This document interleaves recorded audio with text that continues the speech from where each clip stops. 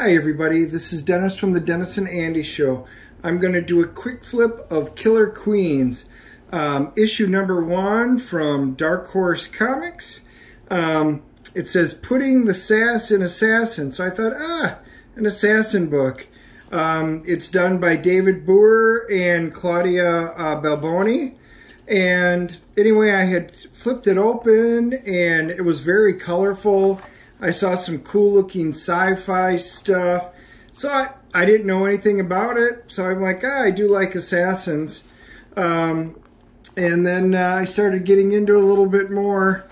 Yeah, we'll see. Um, I'm going to give this one a, a, full read here. The artwork I really like, um, but, you know, we'll see. I don't know if I'm overly thrilled with the content, uh, but I'll know. Hit the like and subscribe button and follow us. Talk to you soon.